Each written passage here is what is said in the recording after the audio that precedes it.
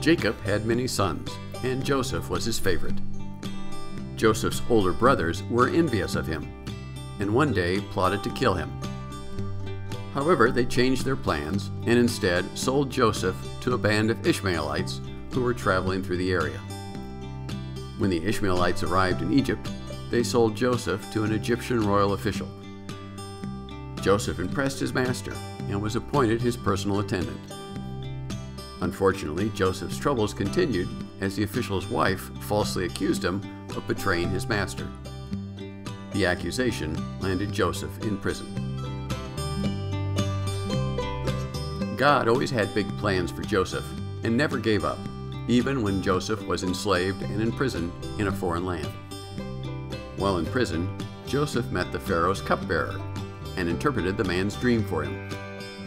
Two years later, the cupbearer was out of prison and once again in Pharaoh's service. The ruler had a particularly puzzling dream, so the cupbearer recommended that Joseph be called upon to provide the interpretation. Joseph told Pharaoh the meaning of the dream.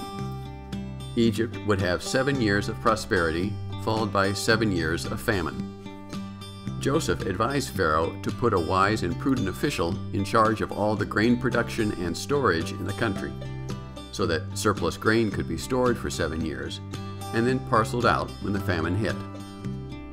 Pharaoh decided that Joseph was just the man for the job and gave him responsibility for all the nation's granaries. Famine hit the entire Mediterranean region, just like Joseph foretold. Joseph's brothers traveled to Egypt from Canaan to ask for food, not knowing that their younger brother was a high ranking official in Pharaoh's court.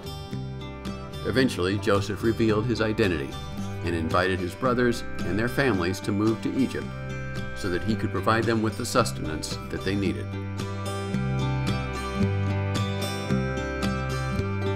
God continued to work in the life of Joseph through all the challenges and adventures and that work paid off.